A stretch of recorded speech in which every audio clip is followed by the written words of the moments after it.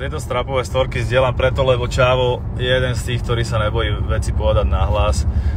A verte mi, že 90% československej scény repovej, keď to môžeme takto nazvať, si myslí to isté. Mám to v správach, na WhatsAppových skupinách a bar zde, že mi to píšu, odkedy sa celé toto hovno začalo.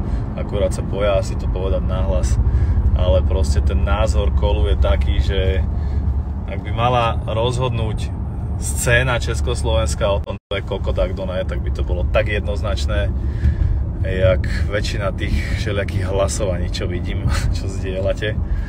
A to nebudem samozrejme prezdielávať, lebo to je irrelevantné, to je vždy nejaká skupina ľudí presne, ak je irrelevantné hlasovanie refresheru a potom povie, že uh, Avard z ruka hore, kde hlasuje 40, 30, 40, 50 tisíc ľudí, že to je pičovina, čo ti jebe, čo je najrelevantnejšia údobná cena na Slovensku momentálne ale akože je mi jasné, kvôli čomu je pre teba ruka hore a vás nezmysel, aj keď je to fakt najrelevantnejšia hudobná cena u nás. Je to hlas ľudu a posledné roky to tam bereme všetko do radu. Minulý rok sme zobrali 13 cien, z toho polovica boli úplne najdôležitejšie kategórie. Takže ja ďakujem ľuďom za podporu. Tento rok som, tento rok som to nezdielal ani raz, ani to zdieľať nebudem. Je mi jedno, kto to dostane, nech to dostane ten, kto si to zaslúži. Ale také tie, že dajte to niekomu, mne na tom nezáleží a pritom kebyže to vyhráš, tak si to dáš ty kokot vytetovať na čelo, tak je to také, že... Hm. Čiže chalani, prosím vás, čo mi píšete tieto veci, už to hovorím druhýkrát, píšte to nahlas a verejne, nepíšte to mne do správ. Ďakujem.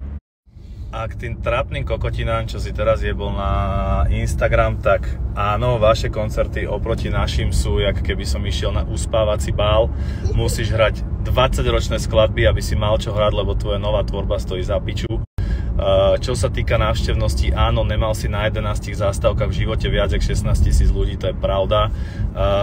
Takisto Kali už prekonal tento rekord, takže momentálne ho myslím drží Kali.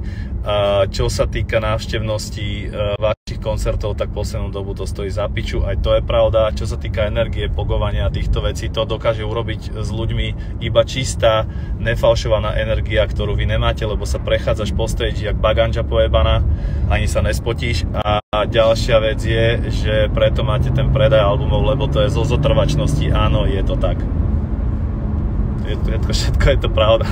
A nej si najpočúvanejší, kámo, ja som najpočúvanejší už 2 roky a nehádajme sa o tejto pičovine trápnej.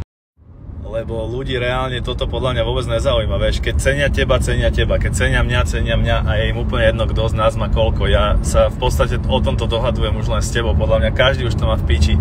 To, že máš v 50 rokoch čase na internete a blokovať komentáre a lajky a mazať kokot len aby si tam mal peknúčke všetko a potom povie, že ľudia, ktorých máš, sú hovná, čo sú ľudia, ktorí ťa dostali tam, kde si, tak to je ešte len, že kokot, to je proste extrémne si mimo a keď chceš sa hádať o počúvanosti na Spotify, uh, tak vyťahni uh, streamy.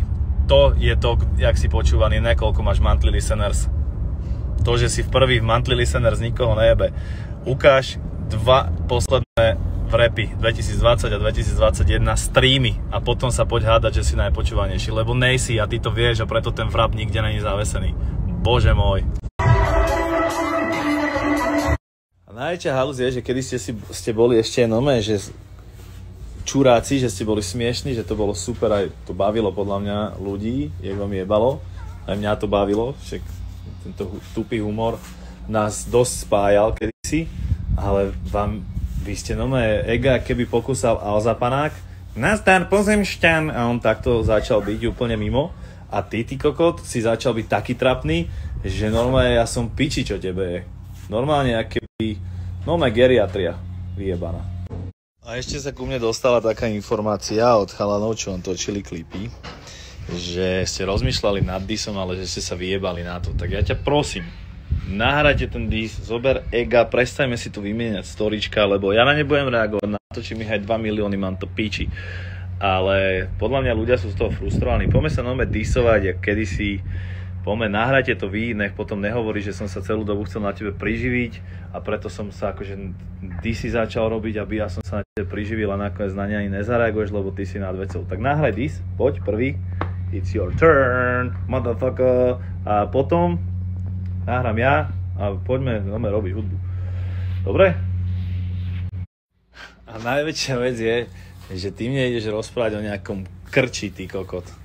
Čo si v takom krči, akom som ťa ešte v živote nevidel, lebo si není zvyknutý na to, že niekto povie niečo na kontrafakt, čo je reálny real shit, ty kokot, a že tí ľudia to vidia a no ja si z toho tak hotový, že musíš robiť akože wannabe smiešné stories.